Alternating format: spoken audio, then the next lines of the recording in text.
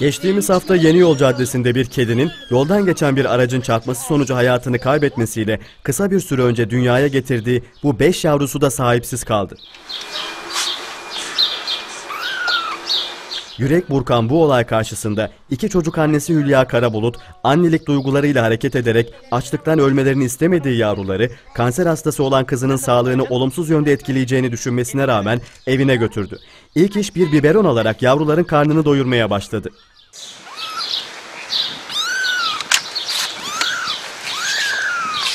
Plastik bir kasa içinde baktığı 3 haftalık kedileri biberonla besleyen Karabulut'un kızları 9 yaşındaki Melisa ve 4 yaşındaki Defne de yavru kedileri çok sevdi. Aferin canım benim. Karabulut gazetecilere yaptığı açıklamada anne kedinin ölümünü çocuklarıyla birlikte gördüklerini ve çok üzüldüklerini belirterek çarpan sürücünün sadece anne kedinin değil 5 yavrusunun da ölümüne yol açabilecek bir hata yaptığını söyledi. Beş tane ama çarpan giden bir tane öldürdüm zannediyor ama aslında beş tane yavru da ölebilirdi. Annesini hani biz öldü görmüşseydik. Ee, pazar Nerede günden oldunuz? beri Yavru- şurada köşede annesini çarpmışlar. Evet. Ben öldüğünü göresi annesinin yavrularını aldık deponun içinden. Pazar günden beri bakıyoruz. Yani biz de ellemisek yavruların pazar günden beri onlar da ölebilirdi.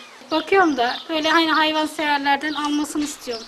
Kızlarının yavru kedilerle yakından ilgilendiğini ifade eden Karabulut, küçük kızı Defne'nin bağırsak kanseri tedavisi gördüğü için bu durumun sağlığı açısından tehlikeli olabileceğinden endişe duyduğunu kaydetti.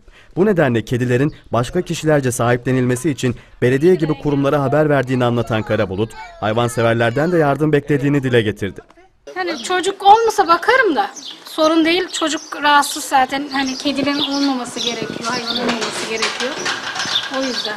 Kedilerle fazla diyalog olmaması gerekiyor. Evin içinde bakıyorum bir de şimdi kedilere üşümesinler diye. Yani istiyorum ki sahip olmak isteyen varsa alsın istiyorum kediler. İyi gidiyor. Bizim sonuçta sabıkayı aradım. Belediye aradım. Tamam döneriz dediler ama daha dönmediler. Bilmiyorum. Ama gelen olursa alsınlar hani yani yavruya kedileri. Karabulut kazaya şahit olan kanser hastası kızı Defne'nin olaydan etkilenerek uzun süre ağladığını da söyledi. Yani kedinin annesinin öldüğünü görünce en çok ağlıyorum Defne oldu zaten. Ama görmemiz de iyiydi. Ben- Yani öbürkü gibi bunlar da ölürdü açlıktan.